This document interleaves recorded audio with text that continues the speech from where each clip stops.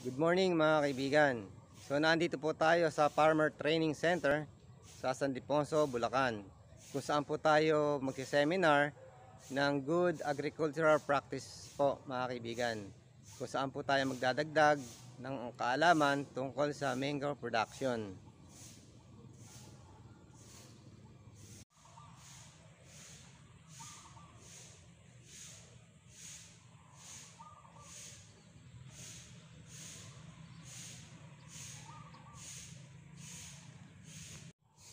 Mga kaibigan, tara, pagpunta na po tayo sa ating ah, learning center. Medyo marami-rami na po ang ah, participant para sa GAP or yun nga tawag na Good Agricultural Practice mga kaibigan. Yun po ay ah, magpapalawak po tayo ng ating kaalaman doon sa ating ah, mango production.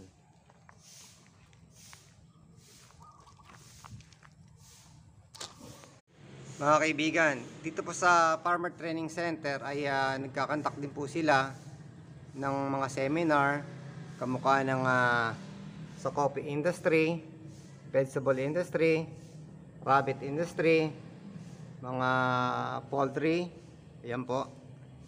So ito po yung ah, pwede nating i-avail or ah, pwede nating pag-aralan dito sa Farmer Training Center sa San Diponso, Bulacan mga kaibigan. So, malaking tulong po to para sa ating magsasaka.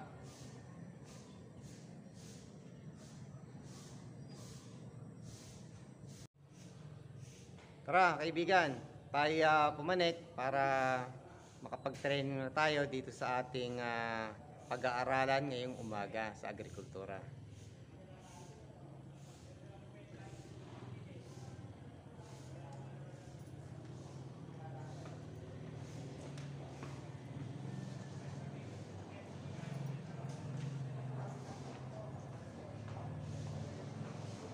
Medyo marami-rami ang participant ngayon mga kaibigan.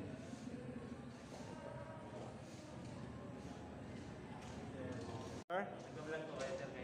Yes po. Nakasay na po ba kayo sa dito? Hindi po, magsasign na po ako ngayon.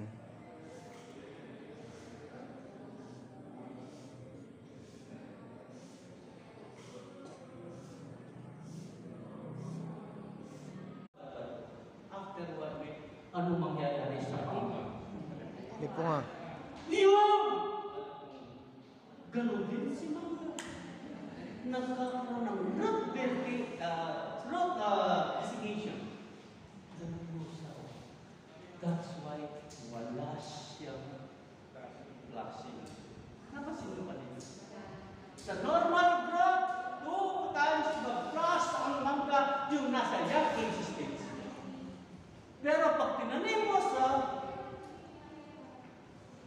bila-bila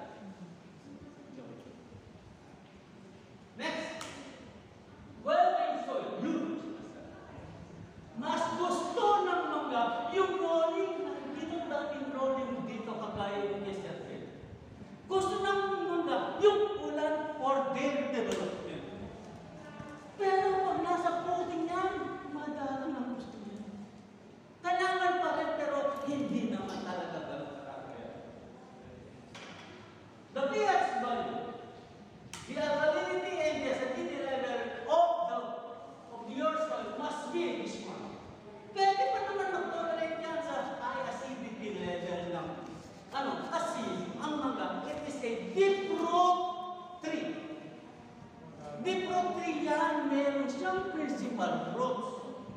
At yung mga, ah, tawag nila, yung mga secondary roots niya, branches niya, nandun pa rin siya pagkatapos ng hotel. So, they can tolerate this one.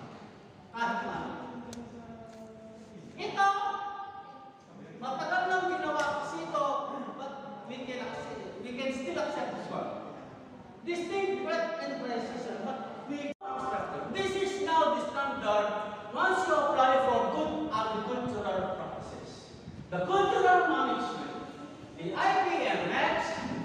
The management, farm management, workers welfare next, yan ang pag-uusapan. Farm location. Lahat naman ng farm location natin ay suited sa mangga. Provided. Napapansin ba ninyo, yung manggang tinatanim, kung minsan kinukondem ko ito sa mga farmers. Nagtatanim ito sa mga pilapit kung saan sila nagtatanim ng palay. Palay. Okay. Napansin nyo na ba? Yes po. Nasa pilapit. Ano po? Matanong ko nga kayo, ano ang observation ninyo sa mga manggang nakatanim sa pilapit? Sir, nagtitihaya. Na Nagtitihaya. nagtitihaya. Mahilig sa tihaya sa siya. Ano ba? Bakit? Hindi pa ninyo napapasin. The growth. The normal growth of a mango planted sa mga rolling hills, sa patak na walang tubig. Anong nangyayari? Hindi lumalaki. Bakit kaya hindi gaano lumalaki yung normal growth ng mga na nakatanim sa pilapil? Mataas po. Yung tubig nagiging stagnant yan because yun ang kailangan ng palay na hindi naman kailangan. Ang isang mangga, pag nagkaroon po siya ng bagong pagdadako, yung utak, utak bang tawag sa inyo? Yung flashing. Pag nagawa ng flashing sa isang mangga, it means to say, there is a growth development. Nagbago yung Okay? Paano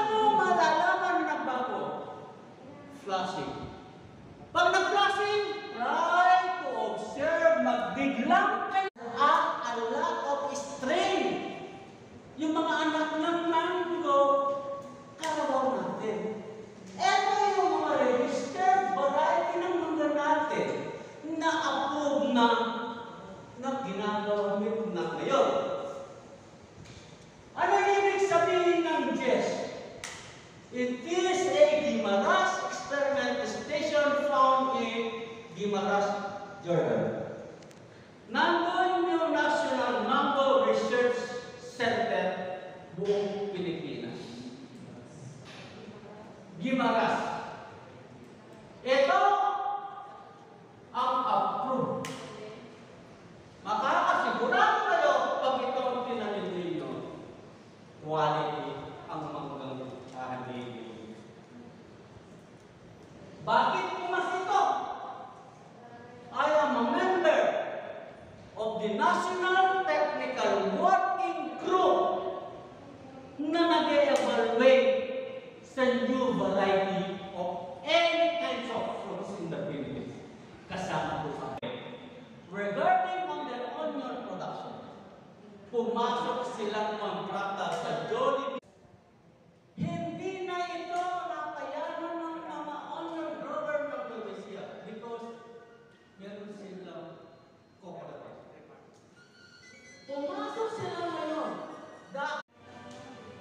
Mga kaibigan, tara dito po kami sa GAP.